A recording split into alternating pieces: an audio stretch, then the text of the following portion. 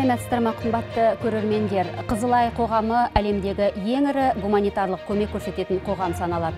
Құрамында жігерлі қайратты азаматтық ұстанымы берік қиын сәтте қолдау көрсетуге асық азаматтар көп. Бүгінгі бағдарламамызда дүние жүзінің 190-нан астам мемлекетінде жұмысын жалғастырып жатқан қоғамның павлодар облыстық филиалының жұмысына жеке дара тоқталсақ дейміз. Осы ретте студия қонақтарымен таныстыра кетсек.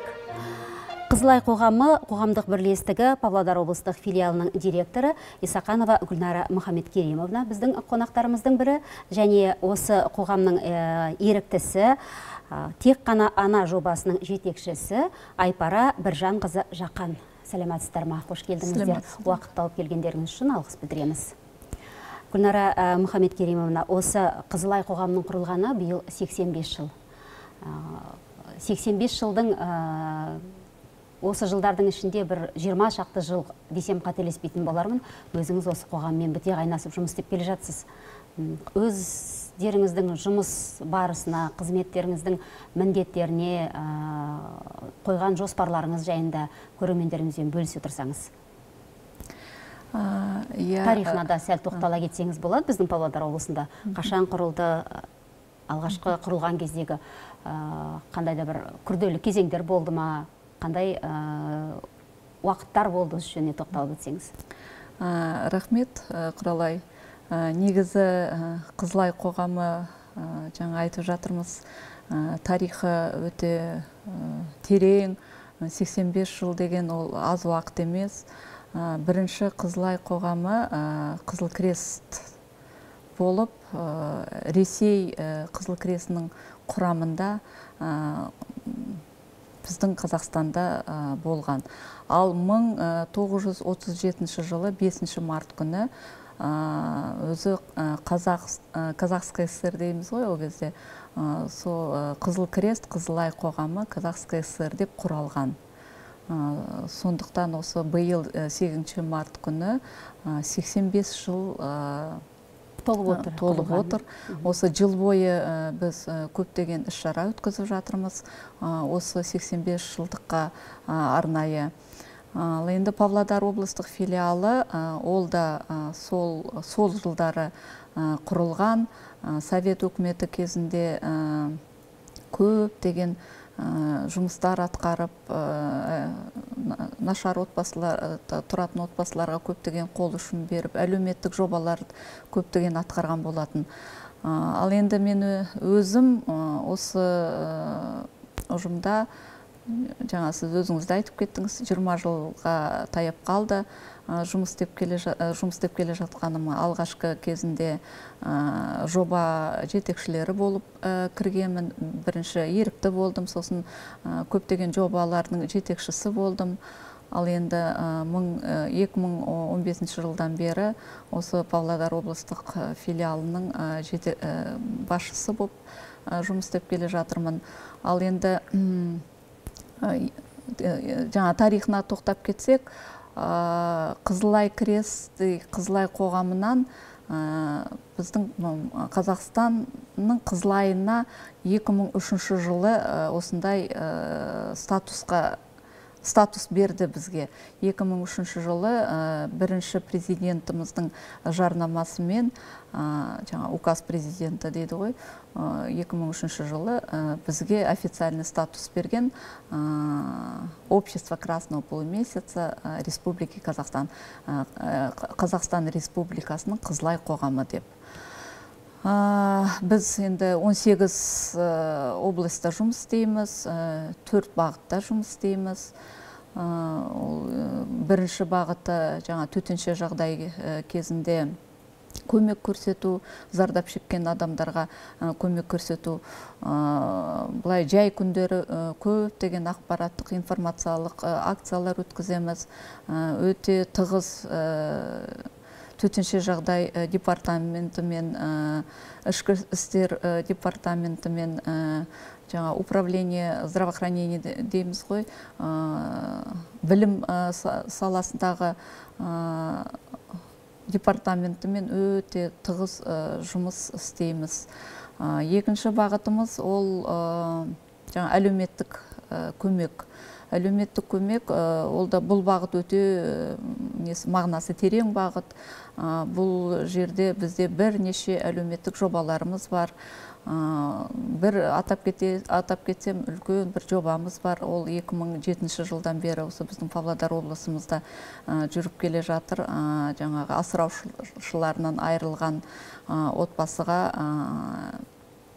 көмек көрсетеді қаржылай көмек көрсетеді. Ол үшін біздің коллегаларымыз араб эмиратының қызылай қоғамы біздің жаңағы жетім балаларға өздерінің спонсорларын бізге ну сол жағынан көмектесіп қазіргі күнде төрт мыңнан аса осы біздің қазақстанның балалары осындай көмек алып, алып жатыр. Оның ішінде қазіргі күнде 370 бала жаңағы көмек алады. Павлодар облысында павлодар облысында. Жақсы гүлнар мұхамедкерімқызы әрине бұл ауқымды жұмыс атқарып жатқандарыңыз сөзсіз. Әрине бұл бұқаралық ақпарат құралдары беттерінен болсын үнемі әлеуметтік желіден болсын біздің көрермендер бақылап көріп отырады.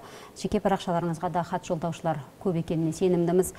Осы ретте әрине бір ғана адамның ғана қолынан келмейді. Бұл енді қоғамның құрамында құрамына өзі ерікті түрде қосылған еріктілер волонтерлар дейміз ғой. Осы кісілердің еңбегі ұшан теңіз екені сөзсіз. Осындай еріктінің бірі айпара біржанқызы міне бүгін студияға келіп отырсыз. Өзіңіз біреуімізше студентсіз иә? Иә мен студентпін. Қазіргі таңда торайғыров университетінің үшінші курсының студентімін. Қызылай қоғамында ерікті болып жүргеніме алты жылдай уақыт болды. Шынымды айтсам еріктілік жолымды ағаларымның артынан қайталағанмын. Менің екі үлкен ағам осы қызылай қоғамында ерікті болып жүрген мен олардың қастарында кішкентай бала болып жүргенмін өсе келе олардың жолын қайталап ерікті ретінде міне қызылай қоғамына келгенмін. Алты жыл ішінде көптеген нәрсеге мәселелерге үйрендім. Осы ең үлкен үйренген, үйренгенім бұл алғашқы көмек көрсету негізінде. Біздің осы қызылай қоғамының бағыттарының бірі алғашқы көмек көрсету ғой. Және қазіргі таңда мен өзім ерікті ретінде жетекші ретінде әртүрлі мастер класстар тренингтарды осы алғашқы көмек көрсету ретінде көрсет өзіңіз де көрсетіп бере иә, аласыз иә. жақсы біз қазір эфир барысында тоқтала кетерміз. Әзірше тек енді сіздің өзіңіздің осы қызметке келуіңіз қазіргі жұмысыңыз жайында көбірек айтсаңыз біздің көрермендерге қызықты болар деп ойлаймыз. Студентсіз енді бұл ерікті деген сөз тегін жұмыс дейді солай ма? Гүлнар мұхамедкерімқызы тегін ақысыз бұл енді өзінің инициативасы бойынша келіп отырған азаматтар ғой волонтерлар негізі иә ерікті волонтер деген бұл тегін бұларға ешқандай ақы төленбейді. Айта кетейін негізі қызылай қоғамы жаңағы біздің үкіметпен жаңа статусымыз бар иә сондай. Қазақстан республикасының қызылай қоғамы дегенімен бізге ешқандай қаржылай көмек көрсетілмейді. Иә соны сұрайын деп отырғам қоғам қайдан қаржыландырылады деп. Біз ана самофинансирование дейді ғой өзін өзі қаржыландырамыз иә. Ол үшін жаңағы біздің благотворительный купон дейміз қайырымдылық купондарымыз бар. Сосын өзіміздің мүшелер мүшелер жаңа мүшелер өзіміздің немізге қоғамымызға жаңа мүшелер қабылдаймыз. Спонсорлар іздейміз. Сосын гранттар жазамыз. Сол арқылы біз көптеген жұмыстар атқарамыз. Осы біздің павлодар облыстық филиалында бізде біз екі ақ штатный сотрудникпіз. Мен и специалист бар. И және де міне айпара жоба жетекшісі. Ал қалған бүткіл жұмыстарға көмек беретін біздің еріктілеріміз. Қанша саны облыс бойынша? Облыс бойынша енді 120-ға жетеді. Облыс бойынша 120-ға жетеді. Оның ішінде елуден астам осы біздің өзіміздің павлодар қаласында оның ішінде жаңа орта буыны да бар жас еріктілер де бар. Бұл енді еріктілерді қалай ұстаймыз? Қалай өзімізге тартамыз қалай иә. тартасыздар өзі ақысыз тегін жұмыс болса. Қазір өзі артық әр адамның уақыты өзі минуттардың өзі бір белгіленіп қойылған бір графикке бағынамыз ғой қазіргі заманда. Иә біз әр ерікті келген кезде құшақ жайып қарсы аламыз. Әр еріктілер ол еріктілер келгеннен кейін жаңа біздің бірнеше акцияларымызға бірнеше мероприятияларымызға қатысқаннан кейін олар түсінеді. Қандай көмек біз көрсетіп жатырмыз? Жаңағы мына алғашқы көмек болса да жаңағы жетім балаларға болса да төтенше жағдайда зардап шеккен адамдарға болса да қысқы, қысқы мезгілде төтенше жағдай департаментімен бірге ученияларға шығамыз. Жазғы кезде жаз бойы жаңа мониторинг это, информационный группамен детский лагерьларға барып жасөспірімдерді үйретеміз. Соған еріктілеріміз түсінеді қандай біз көп жұмыс атқарамыз халық үшін. Айпара енді иә өзіңізден сұрасақ ары қарай бұл жұмысқа келудің өзі әр адамның қоғамға қажеттігін өзінің сезінеді иә әр адам мысалы әрбір ерікті. Мысалы сіздің келуіңіз сіздің осы қызметіңіздің өзі қаншама адам үшін пайдалы. Өзіңіз осындай жағдайды бастан кештіңіз ба осыны сезіндіңіз ба айта кетсем енді не қызықтырады дегенім ғой сізді осы жұмыста? не қызықтырады. Адамға көмек ету ол да бір үлкен қызығушылық танытады. Өзімде адамға көмек ету қандай да бір қиыншылық тап адам қандай да бір қиыншылыққа тап болған кезде ол үшін қолымызды созып қол ұшымызды көмек бергенде сіздің ішіңіздегі жылулықты сезінесіз. Осы көмек еткен адамның рахметі сізде, сізге ешқандай бір қаражат онымен тең келмейді. Рахмет деген сөзі сіздің ішіңіздегі жылулықты танытады. Осы осы ең үлкен қызығушылық деп білемін мен. Адамға көмек ету адамды бір нәрсеге үйрету жаңада бір үлкен үлкен жобаларды жетекшілік ету жаңағы еріктілерді өзімізге қызықтырып оларды жаңа нәрсеге үйрету осының бәрі қызылай қоғамында үйретінетін нәрсеміз. Қызығушылық көп қызықтыратын нәрсе көп. Өзім айта кеткенде осы мені ең қызықтыратыны алғашқы көмек осы осының бәрі қызылай қоғамында үйренгенім жаңағы көптеген достарымды да тапқаным осы қызылай қоғамында. Еріктілер өседі өнеді мектепті бітіреді басқа қалаларға кетеді. Бірақ соған қарамастан біз өзіміздің достықтарымызды жалғастырып келеміз. Және де кіші буыннан келетін қаншама еріктілеріміз бар үлкен буыннан қаншама еріктілеріміз бар. Бірақ осы еріктілік жолында біз бір бірімізге сіз деп жақсылықпен танытып жақсы нәрселерді үйреніп бірге көптеген жағдайларда көмек көрсетіп өзгеге көмек көрсетіп сіз біз деп жүреміз. Осының барлығы осы қызылай қоғамда ерікті ретінде үйренгенім. Сіз үшін бұл қызылай қоғамының өзі жергілікті үлкен мектеп тәрбие мектебі шыңдалу мектебі деп айтайық. Өйткені айпара біржанқыздың сөзінен байқап отырғанымыз осылай тәрізді. Айпара енді өзіңіз бағанадан алғашқы медициналық көмек көрсетуді ең бір меңгергенім үйренгенім өзіме ұнайтын қызметтің бірі деп отырсыз. Мүмкін бізге көрермендерімізге көрсетіп түсіндіріп берерсіз? Өйткені кімге болсын алғашқы медициналық көмек әрқашан қажет.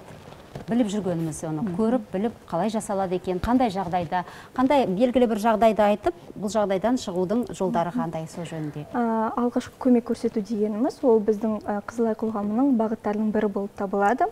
Менің ойымша алғашқы көмек көрсету білімі және дағдысы өмірде әр адамға керекті білім және дағдылардың бірі болып табылады. Өйткені төтенше жағдай болған кезде зардап шеккен адамды адамның әр минуты әр секунды адамның денсаулығына және өмірінің тағдырын шешеді.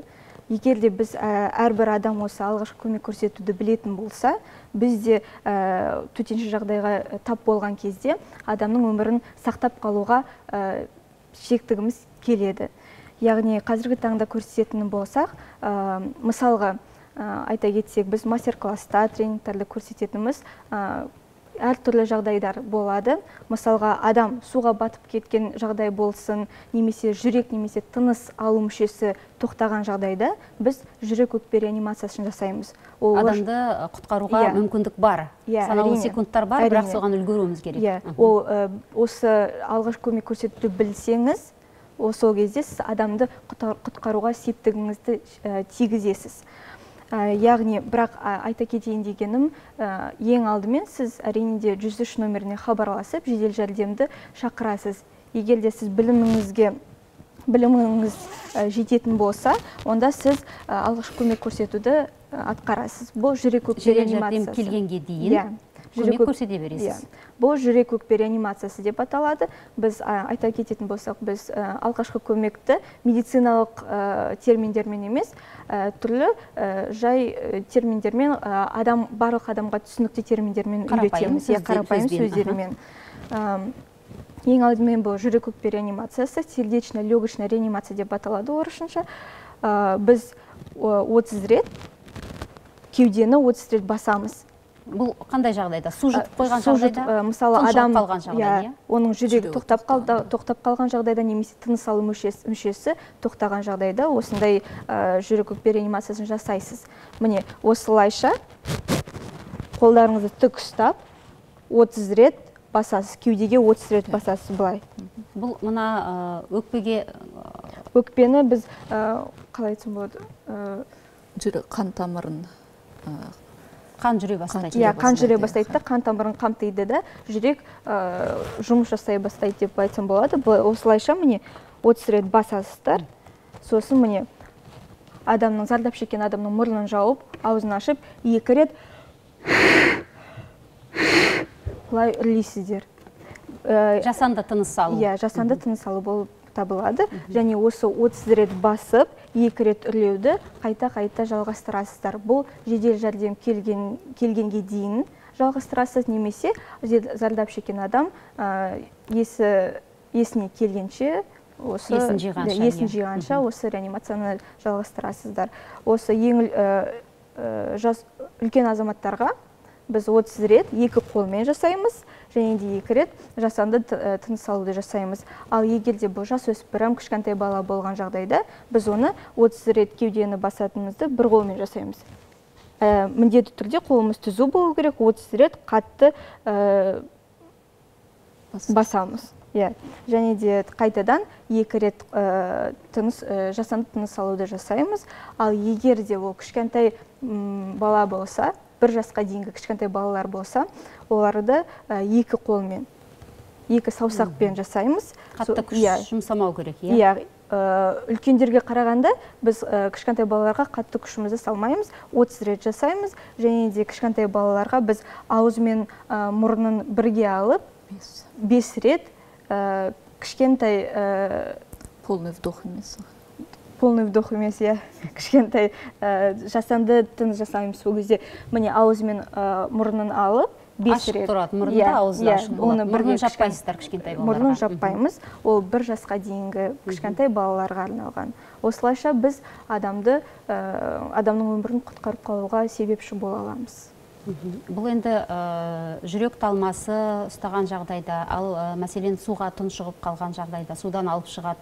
Ондай жағдайда қандай міне судан алып шыққанда мысалға адамның жүрегі тоқтап қалған жағдайда адам суға батып жатқанда оны шығарып салғанда шығарып алып? иә шығарып алып біз ең алдымен міне адамды былай қоямыз да артынан қатты ұрамыз.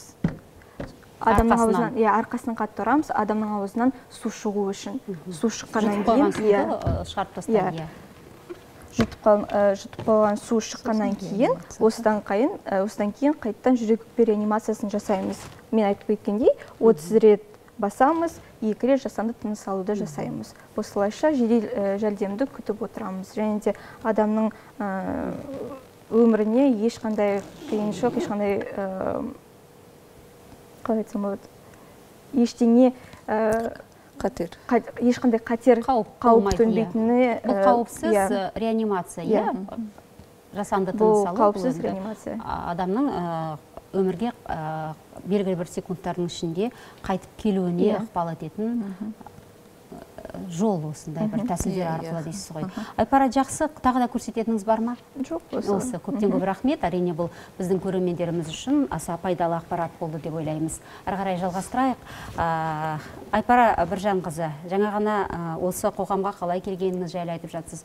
Түрлі оқиғалар болады түрлі жағдайлар болып жатады иә сіздердің жұмыс тәжірибелеріңізде. Өзіңіз сіздің өзіңіз алты жылдай жұмыс істеп қалыпсыз.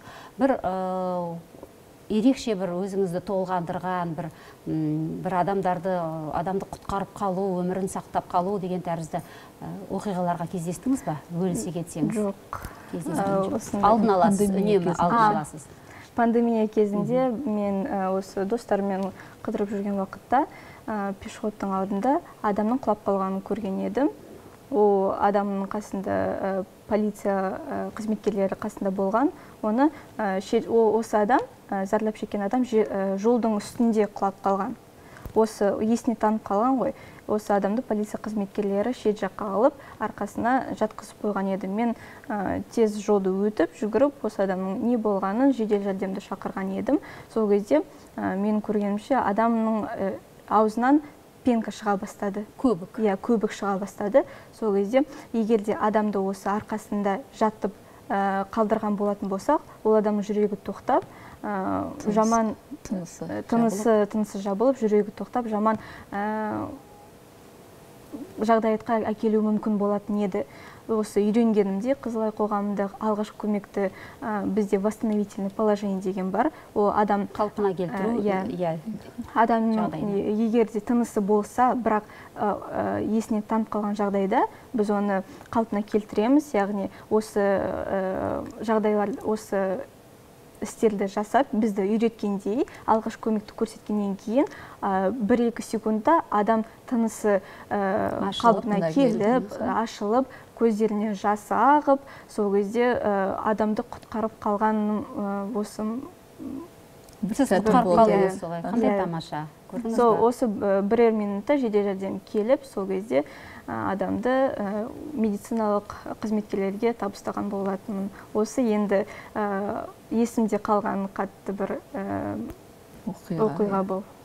Шынымен де қызметтеріңіз сондай бір қажет бұл кімге болсын қажет. Әрі ә, бір адамның өмірін құтқардым дегеніңіз бұл бұл адамның келешегінде құтқардыңыз. Ол адамнан ұрпақ өсіп өнеді мәселен иә? Сонда айпара сіздің жұмысыңыз сондай бір ә, рахметі көп деп айтайық иә? Алғыс жауатын жұмыстардың қызметтердің бірі екен. Шынымен таңғаларлық әрі ә, толғанатын жағдай екен. Мұндай ә, оқиғалар көптеп кездесетін болар иә гүлнара А, енді ә, негізі естіп жатамыз. Бізді бізден үйренген үйреніп қоғамнан шығып кетсе де әрі қарай жалғастыратын болар енді бұл біз қазір тәжірибе қалып қояды ғой тәжірибе қалады. Бізден үйренген еріктілер осындай жағдайларға ұшырағандары бар. Және де біз қазір жаңа курстар өткіземіз ғой. Алғашқы ә, 8 сағаттық курс 12 сағаттық курс өткіземіз алғашқы көмек үйретіп. А, сол хабарландыру беріп жатасыздар білеміз беріп иә. жатамыз. Аға сол курстан шыққан ә, біздің жаңағы енді студенттер де- деп ай- атайықшы да ә, сол кісілер сосын хабарласып айтып жатады. Жұмыста осындай жағдай болды. Сізден өтіп еді қандай бізге жақсы болды. Бірінші кезде жаңағы бәріміз енді шашырап қалдық дегенде абыржып қалдық деп иә, иә, бірақ та жаңағы оқығанымызды көргенім оқыған емес ал қолмен жасағанымызды сразу еске түсіріп ә, сондай көмек көрсетіп жатырмыз көр- көрсеттік деген ә, біраз ә, кісілеріміз өстіп хабарласып жатады. О- осының өзі бізге сондай Стимул сіздер үшін. стимул мақтанатын бір өзі бір жаңағы жасап жатқан жұмысымыздың бір жемісі деп санаймыз. Керемет. Әрине Ә, енді сіздердің жұмыстарыңыз өзі сан қырлы сан түрлі деп айтуға болады. Жаңа ғана айтып отырсыздар ғой асыраушысынан айырылған балаларға көмек деп жатсыз. Иә оның ішінде 300-ден астам бала 342 дедіңіз. Иә осы павлодар облысында осы көмек түрін алады екен. Ә, одан кейін мынау ә, қан тапсырушылар еріктілер жаңағы донорлар осы кісілердің жұмыстары жайында айта отырсаңыз да болады. Жаңағы енді жоба туралы тағы да айта кетейін. Асыраушыдан айырылған жоба туралы қазір уже бүгінгі күнде 370 бала осы жәрдемақыны алады. Жүз елудей жаңа документтарымыз қаралып жатыр штаб квартирада бұл жобаның ішін қандай ерекшілігі бар? Жаңағы жобаға өткен бала например жобаға өткенде ол 8 жаста иә? Сол 18-20-ға толғанша жаңағы көмек алып отырады. Ай сайын 49 доллар начисляться етеді. Ал бұл жәрдемақы жарты жылда бір рет түседі. Жаңа қазір біз айтамыз ғой ана коррупция прозрачность деп біздің это қоғам бұндайға өте сондай көңіл бөледі. Сол үшін біз жаңағы безналичный перечисление дейміз. Әр алушының өзінің каспи картасы бар. Соған бухгалтериядан перечисление жасап отырады. Міне осы өткен аптада жаңа біздің алушыларымыз жарты жылдың несін алды жәрдемақысын алып бәрі жаудыратып жаңағы алғыстарын жазып жатыр. Өзіміздің группа whatsapp группаларымыз бар.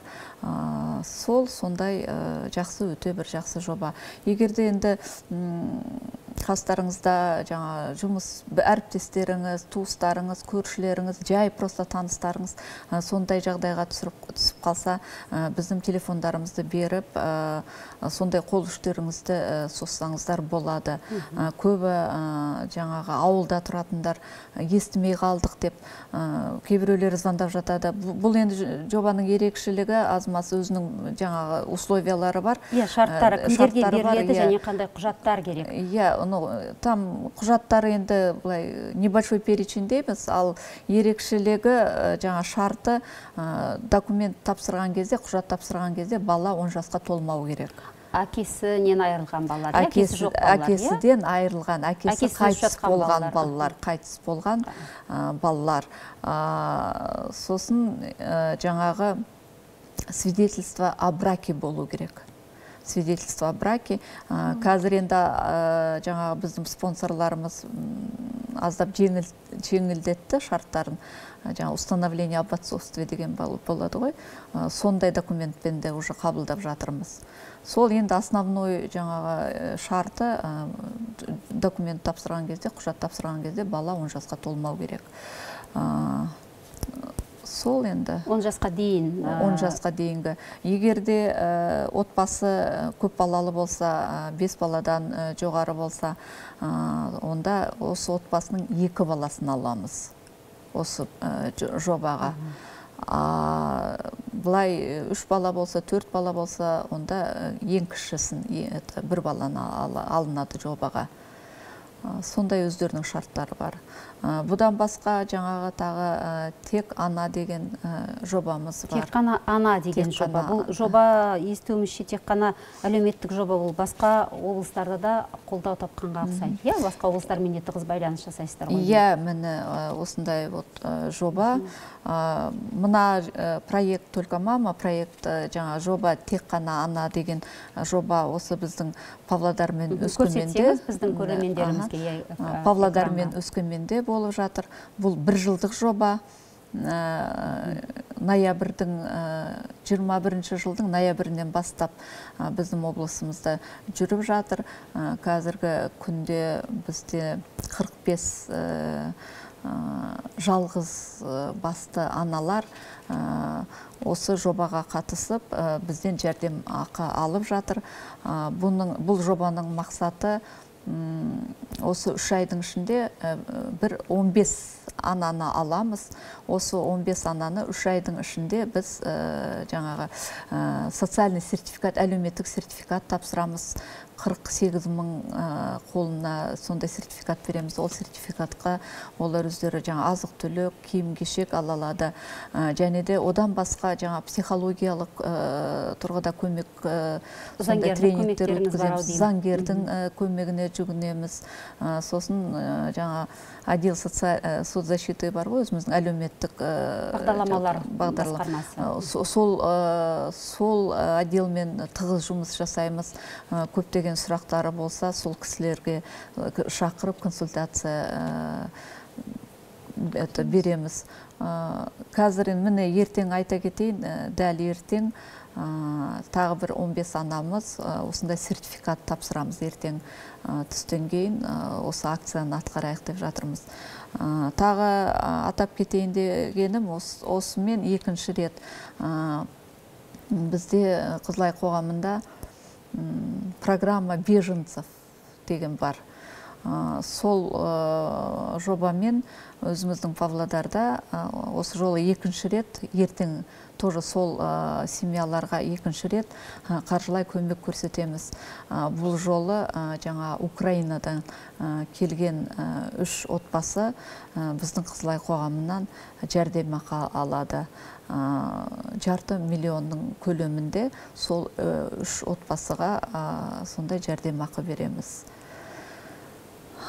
Енді ол бұл әлеуметтік жобалардың бірі.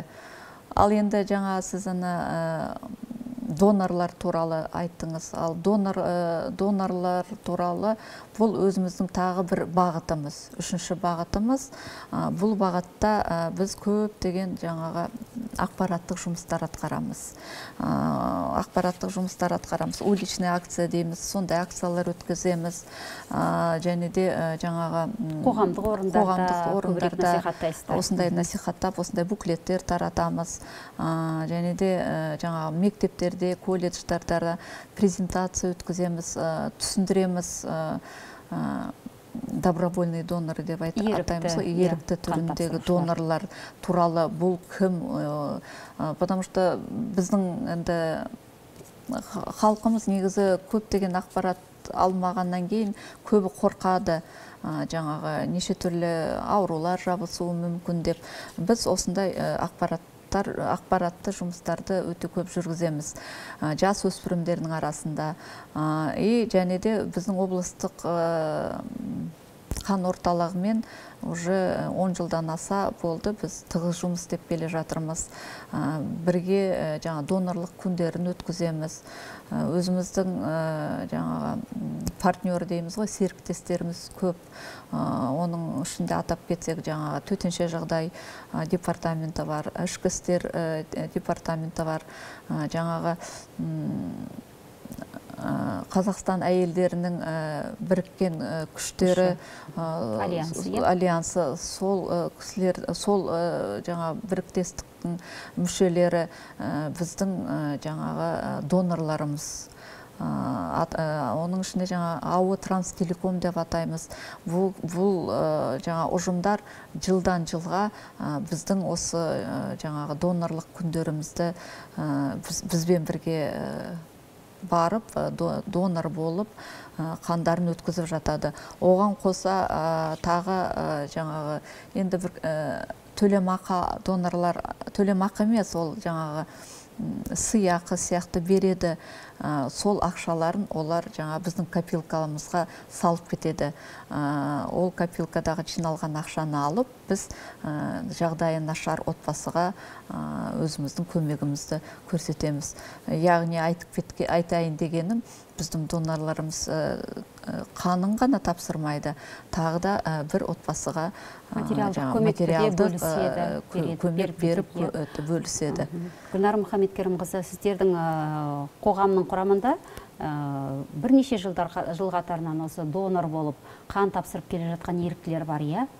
Атай кетсеңіз кімдер? Бұл кісілердің жас ерекшеліктері қандай қызметтері қандай енді бұл? Шынымен де адам өміріне аса қажет болғанда қан іздейді иә? Белгілі бір топтағы қан қажет болды деген хабарландыруды жиі оқып естіп жатамыз. Мұндай жағдайда дәл осы ерікті түрде қан тапсырып тұрақты түрде тапсыратын адамдардың бар екенін біреу білсе біреу біле бермеуі мүмкін. Иә өзіміздің еріктілеріміздің арасында да осындай донорлар бар. Оның ішінде атап кетсек сиримбаевна дана толебаевна дейміз. Ол кісі бізде 15 жылдан аса бізде ерікті болып бізге қол ұшын беріп көмектесіп жүрген өте сондай белсенді белсенді азаматша. азаматша. Ә, қазіргі күнде ол кісі жаңағы центрально азиатский форумға қатысып біздің павлодар облысымыздың делегациясының ішінде ә, мүшесі болып ә, жаңа біздің қызылай қоғамының ә, Жұмысын насихаттап иә? насихаттап жатыр. Ол кісі міне енді бір 10 жылдан аса жаңа донор болып жүр. Ол кісі енді үш айда бір рет барып тапсырады. тагы да наталья шенк деген донорубуз бар. Дана тулебаевна ол ол кісі еще еще ә, еще емес ол кісінің основной қызметі бар Ә, 19 мектептің ә, жаңағы ә, басшылық қызметте ғой деймін иә басшылық это завуч по воспитательной работе дейміз.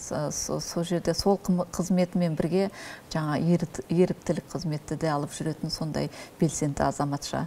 Наталья шенк деген донорымыз бар. Ол кісі ао транстелекомда жұмыс істейді. Заңгер сәуле капанова деген ол кісі алғабас ауылынан келіп осы қанымен бөлісіп жатады. Ә, көптеген сондай донорларымыз бар. Және де жаңа мен атап кеттім ғой бізде асыраушылан айырылған аналар олардың көбі бізде еріктілер. Вот сол аналар да біздің сондай донорлы, донорлық күндерімізге қатысып сондай ә, донор, донорлар болып акцияларымызға қатысып өздерінің бір үлесін қосып жатады. Гүлнар мұхамедкерімқызы жаңа ғана айтып өттіңіз төтенше жағдайлар қызметке қызметімен бірлесіп қаншама жұмыстар атқарып жатырмыз деп жатсыз. Оның ішінде су тасқыны көктемгі су тасқыны кезінде де сіздердің осы жұмысқа белсене араласып жүргендеріңіздің куәсі болдық. Осы жөнінде айтып беріңізші. Биылғы жылы қалай болды? Негізінен өзі бір жыл емес осы бірнеше жыл қатарынан осындай көмек картасы деген жобаның аясында жұмыс істеп жатсыздар иә? Негізі ә, біздің ана бір, ә, бір бағытымыздың жаңа төтенше жағдай кезінде көмек көрсету болып саналады ғой. А, көптеген жылдар бойы төтенше жағдай министрлігімен ә, жалпы қызылай қоғамы бүткіл қазақстан бойынша ә, көптеген жұмыстар атқарылады. Оның ішінде ақпараттық жұмыстары да бар жаңағы тағы да тағы да басқа деген жұмыстары бар. Ал енді мына көктемгі жағдайға келсек биыл біздің павлодар облысында рождественка деген ауылда осындай ә, төтенше жағдай орын алды. Ә, 31 март күні кешкі кезінде біз уже бірінші ә, апрель күні таңғы сағат жетіде шығып жаңа жерге барып өзіміздің независимая оценка дейді соны өткіздік. Жаңа зар- зардап шеккен адамдармен кездесіп ақпарат жинадық бірінші ақпаратты жібердік. Ә, сосын оның артында екінші рет барып тағы да ә, уже ә, үйлерді аралап көрдік. Қанша үй аварийный состояниеға келді. Бір үйге су полностью кірсе бір үйдің жаңа подвалдарын алды. Соның бәрін сара неден? Сараптап. сараптап. Екінші өзіміздің жаңағы ақпаратымызды штаб квартираға жібергеннен кейін осындай шешім келді. А, 24 отбасыға 25 отбасыға а, көмек беру. Сонда бір отбасыда 5 адам болса әрқайсысына 100 мың теңгеден а, бөлінді. Сонда 5 адам болса отбасыда 500 мың көлемінде көмек көрсетілді. Жалпы 8 миллион 600 мың а, теңге біз қызылай қоғамы зардап шеккен адамдарға көмек көрсеттік. Биылғы жылы. Биылғы жылы осы көктем ә, су тасқыны болған кезінде. Әрине ә, мемлекеттік органдар ә, көбіне көп қызылай қоғамының көмегімен осындай жұмыстарды атқардық деп есеп беріп жатады естіп, естіп жатамыз. Әрине біздің көрермендеріміз де бұл жөнінен хабардар. Алдағы жұмыс мақсаттарыңыз жөнінде қысқа да нұсқа айтып берсеңіздер. Әрине жұмыс мұнымен тоқтамайды. Жұмыс тоқтамайды. Ә, біздің ә, жаңа осы төрт бағыт бойынша жұмысымыз өте көп. Ә, алдыда қойған мақсаттарымыз да көп.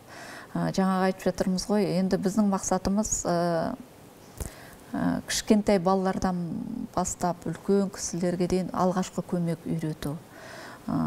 Бұйыл жаз бойы осы төтенше жағдай қызметкерлерімен бірігіп білім саласындағы істеп жатқан қызметкерлермен бірігіп мына біздің ертіс променада да көптеген жұмыстар атқардық. Жаңағы лагерьларға барып көптеген осындай түсіндіру жұмыстарын атқардық. енді алғашқы қойып жатқан мақсатымыз қазір енді бәрі қаражатқа келіп тіреледі ғой. Биыл көктемде қыс жұмсақ болғанымен көктемде бәріміз куә болдық. Марттың аяғына таман мына біздің шідерті мына екібастұз жолында нұр сұлтанға бара жатқан жолында біздің ленинский кентімізде қаншама кісілер кептелісте қалды. Қандай борандар болды? Үш күн төрт күн бес күндік борандарда. Сол кезде біз өзіміздің тарапымыздан жағдайымыз келгенше барып сол кісілерге ыстық тамақ апарып тамақтандырдық. Тағы да тағы да басқа көмектерімізді көрсетіп жаттық. Енді бірінші қойған мақсатымыз запас на ЧС дейді сондай запас жинауымыз керек сондай қор жинауымыз керек. Ол қор дел кезінде біз енді өкіметтік жаңа органдардың олардың енді жазатын жаңағы нелері көп қой. Приказ шығу керек тағы да тағы да басқа да уақыт керек оның уақыт керек. Ал бізге бізге дәл қазір көрсету керек дәл қазір көрсету керек. Ол үшін жаңағы бізде жиналған қаражат болу керек. Биылғы осы көктемді алсақ мысалы біз жаңа қаражатымызды алдық дүкенге бардық керек нәрселердің бәрін сатып алдық. И түнге қарамай бардық та қаншама кісілерге жаңа ыстық шайымызды ыстық тамағымызды бердік. Қаншама кісілер ризашылығын білдіріп жатты. Сондай сондай енді жоспарларымыз көп. Күнде төрт бес адам көмек сұрап хабарласып жатады. Жақсы гүлнар мұхамедкерімқызы және айпара біржанқызы дейік. Сіздерге бүгін мына эфирға келіп жан жақты толыққанды ақпарат бергендеріңіз үшін алғыс білдіреміз. Сіздеріңізге сәттілік тілейміз. Жемісті болсын әрқашан. Қымбатты көрермендер осымен бүгінгі бағдарлама өз мәресіне келіп жетті. Амандықта болыңыздар.